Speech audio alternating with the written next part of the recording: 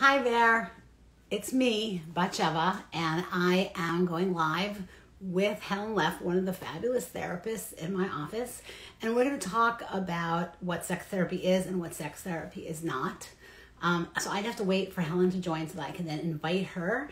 Um, I think a lot of people have preconceived notions about what sex therapy is. I think people are nervous sometimes about sex therapy. I think there are a lot of different kinds of sex therapy, and um, we hi kat. Oh my god there's kat. Uh, we just did a whole series in facebook on sex education and talking to kids about sex. So great to see you kat. I'm so happy to see you. Wave at me. Anyway um just waiting to see helen because i do not see helen on here yet. Um and helen are you there? I didn't practice with Helen because oh, Kat said hi. Kat said hi. Um, a lot of people have a really many many um, sort of weird ideas about what sex therapy is, or don't understand that there's lots of different kinds of sex therapy and therefore don't necessarily know what they're looking for when they're looking for a sex therapist. So, um, um, so that's why we thought we would do a whole thing. Um, okay, so Helen just said to me she's not seeing me go live. Helen, go off of faith. Hi, Helen. Uh, oh, there you are. I think there you are. H H J A C D. That's you, Helen, right? Okay, good. I'm going to invite you to join. I'm pretty sure that's you. There we go, Helen. There we go. So I think it's really, um, for those of you who are thinking about doing sex therapy, and I know there's often a lot of people who are and are kind of nervous about it, like we think it's a great way for us to kind of talk about what is sex therapy and what is not sex therapy. So um, I'm waiting for Helen. She should be joining us. It says waiting for Helen. Hopefully that's happening. Oh, great. It works. Okay.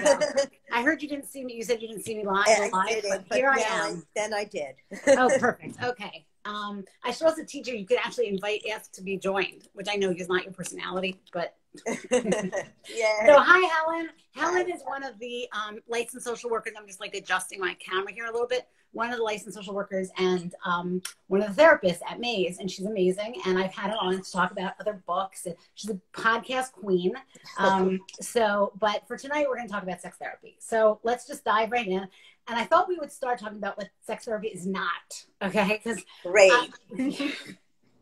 so let me just start by saying sex therapy is not when you sleep with the sex therapist. I mean, I, I, I, feel like people, I don't know how many of those people you've encountered in your life, but oh, oh shoot, hold on. We, yeah.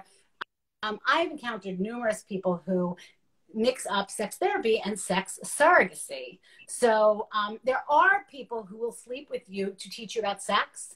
Um, they are called sex surrogates. They are a very much maligned field because actually some of the sex surrogates that I've met have been amazing, lovely people. Um, classically um, it's illegal just you know in new york because i guess it's it's lumped with prostitution but in california i think it's legal do you know helen i, think I don't know but i will recommend a movie on it for those go yeah? ahead okay um, helen hunt um, was in a fabulous movie this was a few years ago called the sessions i believe that's the name of the movie and it was just so beautiful and i think that it really does illustrate sex surrogacy and how helpful it can actually be.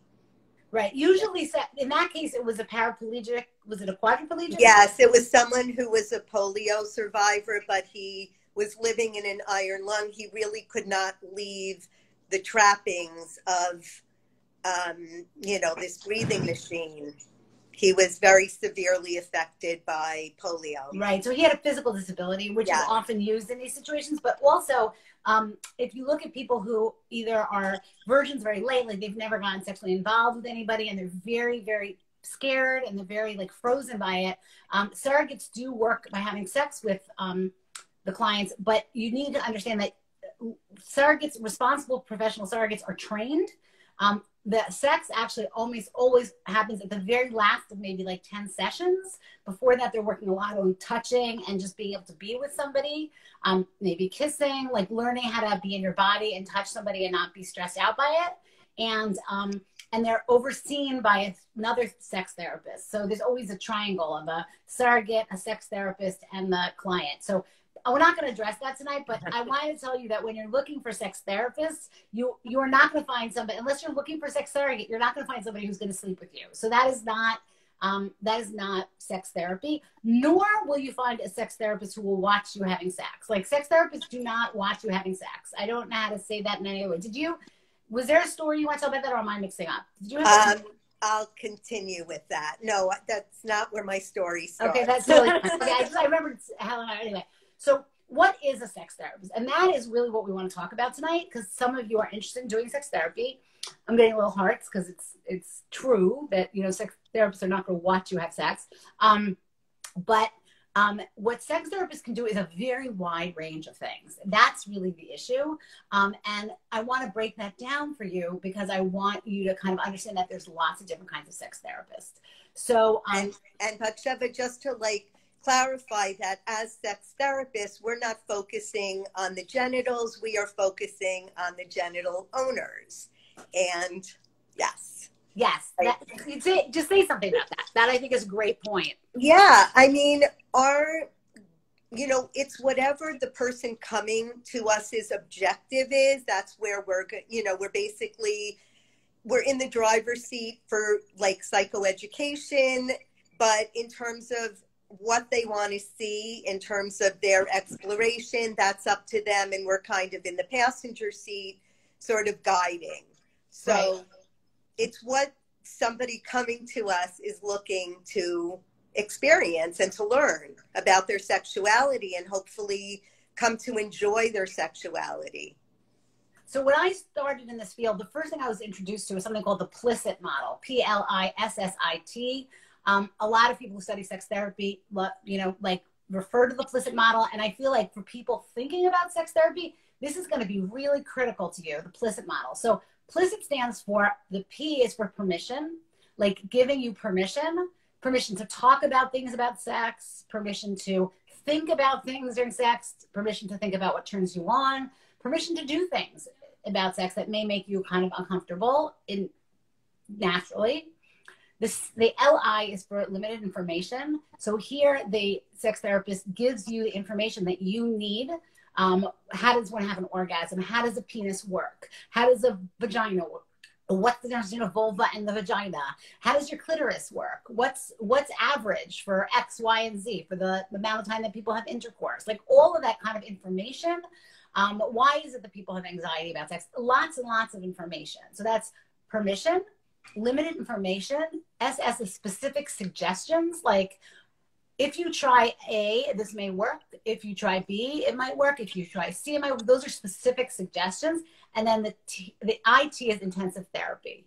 And so a lot of sex therapists don't do the intensive therapy at the end. And that's something that's really important. And I'm not saying one is better or worse.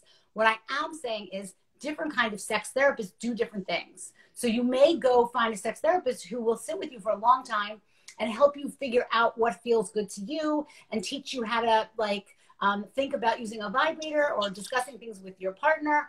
But that's very different from dealing with deep emotional issues that might be getting in the way. And so i need you to understand that those are very different models of sex therapy and they're both extremely valuable but they're very different.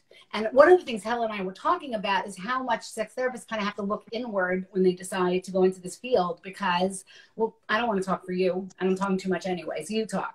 You are not talking too much, but I was going to add that it's really, really important, I think, for us um, as sex therapists to be willing to look at our own assumptions, our own stereotypes, our own attitudes um, about sexuality and to really dig deep into that and be very, very aware of that. And at the same time, also know that we are sexual beings in the world, but we need to separate what our sexuality is from what our patient or client or whatever you want to call the person we're working with sexuality. And I think that's really important. And that kind of brings me to the stories that um, I, you know, had mentioned to you. It was and, so funny. We were talking, and Helen was telling me the story, and I'm like, "This is a great story, Helen. You got to tell this when we do the live." Anyways, here you go. Right. So it's so like timely because I had been reading um, Glennon Doyle. She's an inspirational speaker, writer, what have you. She wrote this book recently called Untamed, and the two stories that she illustrates just blew me away because she saw this couples therapist, like basically truly her marriage happened to have been over. She was seeing this sex ther- this couples therapist, clearly not a sex therapist, um, who basically she saw her for an individual session and she was telling her how she's in love with a woman. And the therapist said to her, like, this is not real, this is just a distraction. And that really kind of blew me away because it didn't seem like this was explored at all. It seemed like this therapist was coming from her own place and telling her what she's not or like how this is not real. And that really struck me. And the other story that um, Glennon Doyle told was how she was kind of talking about having sex with her husband and how she really just felt like she wasn't alive. Like she almost saw her body like floating over both of them and this feeling of like really being dead inside and, and disconnected and disconnected totally right? disconnected right and what the couple's therapist told her was to basically give him a blowjob because that is more impersonal. Like that will make it easier for her. And once again i just you know really felt for glennon. Like that's just not great stuff right there. So i think what you're getting at there and what i think is so important for people to hear is that when therapists come in with their own agendas as opposed to responding to your agenda you'll i feel like you'll know that. Like i don't you feel like that's true helen like clients know like as, as a matter of when i you know the things i remember that i did badly there was a client i was seeing who was married a little off topic but she was married and she had two kids and she was having an affair. And she kept telling me how great her husband was and how she really liked being married. And I kept saying to her, um, we're working on your sex life. Do you think you may want to work on? She, we're working on. Oh, she was having an affair. I was helping her with her sex life with her lover, and I and I kept coming back to. I just want to check with you. Do you want to do you want to work on your sex life with your husband because maybe it won't be great, but it could be okay and good. And then, and by like the third time I did that, she turned to me and she said, "Batsheva, I don't want to work on the sex life with my husband. I'm not interested in my husband, and I and I like to, I, I said, look, I want to deeply apologize because I was also hearing her fear about losing her marriage. But rather than sitting with her and sort of working that through, I sort of was responding to that. And what did happen, of course, is her husband did find out she was having an affair, and her husband did leave, and the marriage broke up, and she, you know, and she was devastated. But I think she would have said the same things to me. Like, in other words, it wasn't mine to encourage her to work on her marriage. It wasn't mine. I needed to work on the things she wanted to work on. So, um, the story you were telling, Helen, was about a woman who ultimately did leave her husband and moved into a female relationship, right? Yes, she absolutely did. She just happens to be in love with this particular woman. I don't know if she will even define herself as a lesbian, but she is now married to a woman and really in a happy place in that way. But I also think, Batsheva, it's a testimonial to the work that you were doing with this woman who was conflicted, that she was able to tell you what she wanted to work on. And Stand your ground, Batsheva. Lay low. Yes, totally. As a matter of fact, I'll give you another example similar where I did the right thing. And I it was also hard for me, which was I was seeing an ultra Orthodox woman who was married with four children very not interested in her husband, um, very, very wild, torrid affair with another woman. Actually, loved her husband very, very much. Um, and I said to her, listen, we can do whatever you need to do here. So if you want me to talk to you to, to help you figure out how to keep having sex with your husband, if you want me to help you work through whether or not you want to leave and go off with this woman, and she looked at me and she said to me, Batsheva, if I go off and I go with this woman who, when she touches me, my body turns into fire, she said, I will lose my children. And I was like, yeah, you probably will lose your children because in that community, you will lose your children. So in the end, it's your choice, and we could work on this either any way you want. I mean, like, and she did. I mean, we worked on her marriage, her marriage with her husband, because for right now, that is what she needed. And so I think what Helen and I are both really saying to you is um, that you need a therapist who is going to a sex therapist who is going to hear what you want to say like what you need to say and actually help you with it yeah yeah and for this woman who again wanted to work on her marriage I can't imagine how freeing it must have been for her to at least let you know the passion that she felt for this other person. Right. Because it's like the recesses of your your brain. You know, it's so interesting. The New York Times had a piece. This is how to be 10 years ago. I was looking it up. If anybody who's watching remembers this piece about a, um, a sex therapist in middle America who was working with fundamentalist or evangelical Christian men who were gay and he basically was helping them stay in the closet. Basically, same situation. These men were married to women, mm-hmm. had families, wanted to stay married, loved these women, but we were sexually attracted to men. And so either he worked with them to figure out how to have sexual activity outside the marriage, or he worked with them to sort of, you know, fantasize but not have sexual activity. Um, and he got blasted. Like people were like, "How could you do that? You're not having the men own up to who they really are." And his art, the article was so profound because the article was saying, um, as a sex therapist, my job is to understand what you, the client, wants and try to help you be there and stay there. And my job, and there are other values in people's lives besides sex. We lose that sometimes as sex mm-hmm. therapists, but people's religion and relationships and community and family, they can be just as important or more important than sex. And so he worked with them to achieve their goals. And so I think that is really, um, really, I think that's a really profound message. So I, I just, I feel like you need to find a therapist that does that. So that's, that's piece number one.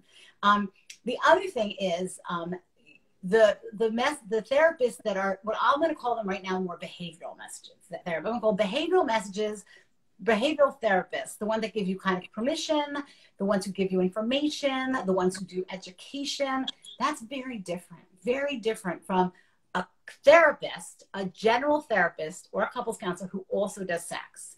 And there are some of those as well. So, so that's where you need to kind of figure out what you you want to do. But uh, uh, your uh, a behavioral sex therapist should at least be able to address um, some very basic shame, for example. Let's talk, let's do some talking about shame because that is a very common theme that you see here with therapy, in mm-hmm. sex therapy.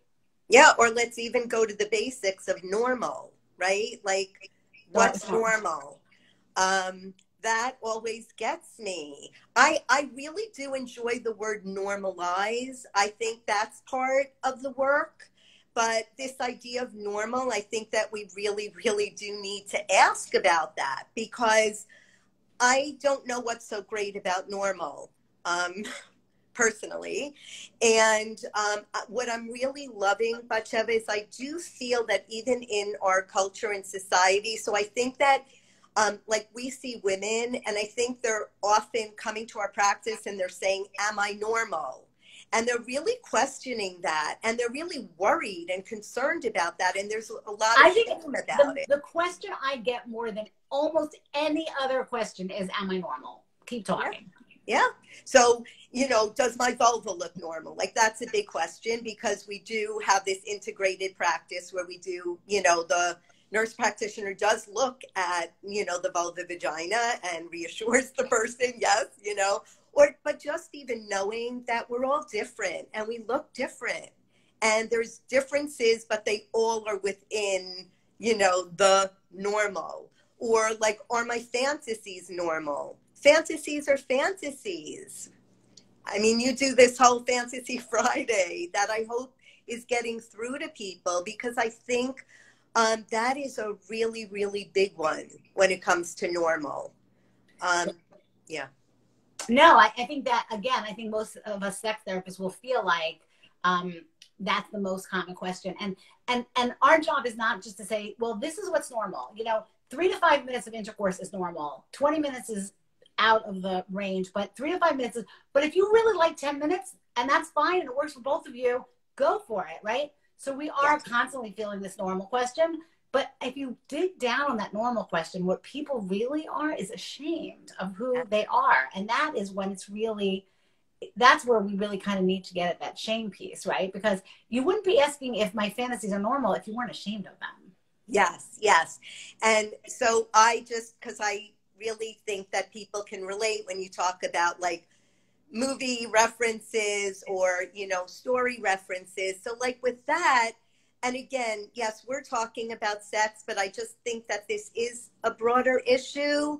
Um, also, so like one of the things I love is in Good Will Hunting when um, Robin Williams talks about like how he and his wife like shared these idiosyncrasies about each other and he was like saying yes it's these imperfections. That's the good stuff.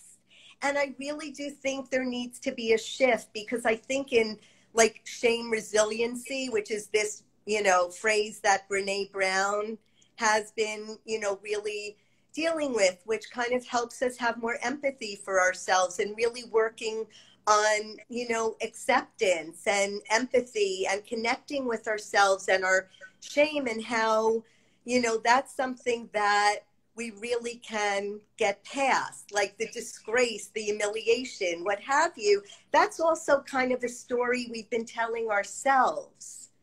And that's what we need to work through. can, can you say more about that? Because i feel like that's such an important point and it's one that people don't hear about Okay, so like that's more like a narrative therapy kind of perspective, which is basically that we as the person are not the problem. It's the stories that we tell ourselves about things. So it's, let's say, the stories that we tell ourselves about sex that are the problem, such as, oh my gosh, you know, there's so much shame, whether it's like a religious kind of institution, which you kind of grew up in, which says premarital sex, for instance is not right. And you just like have premarital sex because that is what you're choosing to do but yet you have a lot of shame and guilt over that kind of working toward you know more of like looking at the stories that you told yourself that premarital sex is bad. Now again some people who don't choose to have premarital sex because they that's their value that's fine but if you're someone who, let's say, does, and you've told your story about, you know, how shameful you are and how you should burn in hell or whatever it is that this brings up for you, it's really, really important to work that through because that's going to shadow you and not be healthy for you. It's so funny. I, I have, I always tell a story about on one day. This happens a lot, but on one day I happened to have these two different clients and both of them were like, um, so like ashamed to tell me their history. And one of them was like i had so much sex. Like i feel like such i was such a slut is the word she used. She said like i was in college and i slept with like 20 guys in the first you know two years. And uh, you know i'm sure this is like she was so embarrassed. And then on the same day i had a patient who was like I'm so embarrassed. I only slept with one person before I got married. I'm sure like I'm the most repressed person you ever met. Like everybody has a story. You can't win. you can't win. You can't win. It goes back to the normal question, but it's everybody has a story that they're telling themselves. Yes. Um, yes. And those stories really shape your sense of your shame. And um, and, and, and a good therapist, even a good behavioral therapist, and I'll talk more about the intensive therapist, but even a good behavioral therapist should really be able to help you look at your the story you're telling yourself, the shame that you may carry, the shame that you may carry around. What is reasonable? Like, in other words, what the wide, huge, amazing range of what is normal and what is reasonable, right? Mm-hmm. Uh, right. Um. So, so that, those, yeah. Or I, I definitely want to add something to shame. I know our time is limited, but I think this is so important. I think when there's shame, there's a lot of silence. I think there's a lot of silence around shame. And I think that once you start addressing it, that's where, you know, the good stuff happens. So, really, um, you know, silence breeds more shame. And, you know, again, if you have like a safe place to talk about this, it can be so, so useful and so I, helpful. I'm so, so glad you said that because I think what some people don't realize, whether they're, the, you know, they're sexual abuse um, victims or whether or not they just have a history of something that makes them ashamed, that the shame itself is often from holding secrets. A secret that you're just embarrassed about something, you don't want to tell somebody how you masturbate, a secret about the fact that um, you you know you know something about somebody when we hold secrets whether or not there's anything to be ashamed about we feel shame. It's almost like the secret breeds the shame rather than the issue itself. And so um, what i really what why sex therapy can be so incredibly powerful is because it's a place to lay out your secrets and realize your secrets are not dark and scary and horrible but they're they could be heard by somebody and they could be supported which is why you need a really caring, supportive therapist. We only have about five minutes left. And I'm thinking, Helen, if you'll come back, because what we didn't touch on at all, and what I would like to talk about is there's a whole other kind of therapy, sex therapy, which is not behavioral, which mm-hmm. is um, more psychodynamic or in some way what we think of as therapy. Like a therapist will talk to you about your anxiety and has it, and maybe the roots of your shame, like really getting deep into the roots of your shame, maybe experiencing like history and how your history was, you know, a piece mm-hmm. of this, mm-hmm. but really kind of doing a very broad, much deeper, deeper delve into your psyche. Yes, yes. Um, and you know, if we have a few minutes, Batsheva, is it worth like talking about messages that we got, which is, you yes, know, go ahead. Yeah, I, I think also what's really important is that, you know, when we're young, and I just like read this thing that I thought was great, that we need to teach children how to think, not what to think. Because what happens is when we're, we're little, we start getting all these messages messages about like boys and girls messages about men and women. And messages about how to dress. Oh totally. Our bodies and, our bodies yeah yes and these messages can be so profoundly hurtful. So like a message that i think to what you were saying is like if a girl is told like why are you wearing that? Kind of the and if they're told often why are you wearing that? from you know a family member someone who's really important to them they may get this message that their body is shameful that sexiness is like not the way to go. Like that's scary and shameful. And um, what happens is that may really really have an effect on their sexuality in terms of maybe isolating themselves not like wanting to be intimate out of you know, just kind of having this idea that like being attractive isn't a good thing, it's going to lead to something dangerous or what have you. And unless that's looked at, that can, you know, be really, again, hurtful because they got this message that they bought. Because why wouldn't we buy that from our most important influences? Right. That goes kind of back to the story we tell ourselves. It's very yeah. intertwined. Right. So we only have a couple minutes left. So I think what we're going to do, I'm going to do though, is now, so what I want to leave you with, sort of, is that when and if you're looking for a therapist, you need to decide do I want to see somebody a few times and sort of get the basic the, the information and the behavior and take some quick look at the shame or the messages I got, the narratives I told myself. And, the, and the, that's a sex therapist that does that kind of work. And then if you want to delve deep, if you're saying, no, I need to go deep inside my roots to figure out what is going on, or I need to see somebody with my spouse, my my husband, my partner. I need a couples therapist. Then what you need then is a general therapist who also does sex, and that gets a little complicated, right? Because sure. lots and lots. What? Yeah, definitely. Because so many, right? So many therapists out there say, "Oh, I do sex. I do sex therapy." And they don't do sex therapy. They're couples therapists or they're individual couples, and they just never did. So, so think about this. Either you need a, a sex educator slash therapist who's going to do a lot of behavioral, a lot of practical, a lot of that kind of work with you, which is largely what we do with every single patient who comes into our practice. Or you need a therapist therapist, and sometimes we'll refer people, or one of the therapists, like Helen, will take on a therapy client who but that's a therapist who's been trained deeply deeply in therapeutic techniques and has a training for the sex therapy overlaid on it. And so um or a couples therapist who is a very very excellent couples therapist and has the training for th- sex therapy which is asking a lot right? Yeah. but just talk for a minute about the cu- people we see who've seen couples therapists who don't like it's mind boggling yeah. Right. So again this you know, example that I gave with Glennon Doyle, who saw this couples therapist, you know, who didn't have the sex therapy training, I believe, because this was the information that she received. And also, I, I have to laugh, but when somebody asked her, is your couples therapist any good? You know, a friend asked Glennon, is your couples therapist any good? She goes, you know, I guess so because I'm still married. And that may not necessarily be the best answer, right? No, yeah. for sure, for sure. And so you have to go with a certain level of skepticism because I cannot tell you two things. One is couples therapists often have this adage like, oh, if the, if the relationship is good, the sex will follow. And I'm sorry, that's bullshit. I don't know. I don't even have, it makes me so angry. It makes my blood boil, right? No, you can have a perfectly lovely, excellent relationship and a crappy sex life. And we see that all the time. And the and, other thing, right? And the good news is you can work on your sex life. Yes, yes. If you have a really good marriage, you can work on your sex life. And the second thing is, um, and I totally forgot what I was going to say. But the second thing is that's pretty funny. But no, um, the second thing is that um, oh, that a couples counselor. So first of all, just that fixing the relationship is not going to naturally fix the sex. The sex, and the other thing is that we see couples who come in to see us. They haven't had sex in a year. Haven't had any kind of sexual activity in a year. Okay, so but they're seeing a couples counselor, and they've been seeing the couples counselor for six months or a year. And I'll be like, well, what does your therapist say about this? And they'll be like, oh, our couples counselor, our sex life never came up.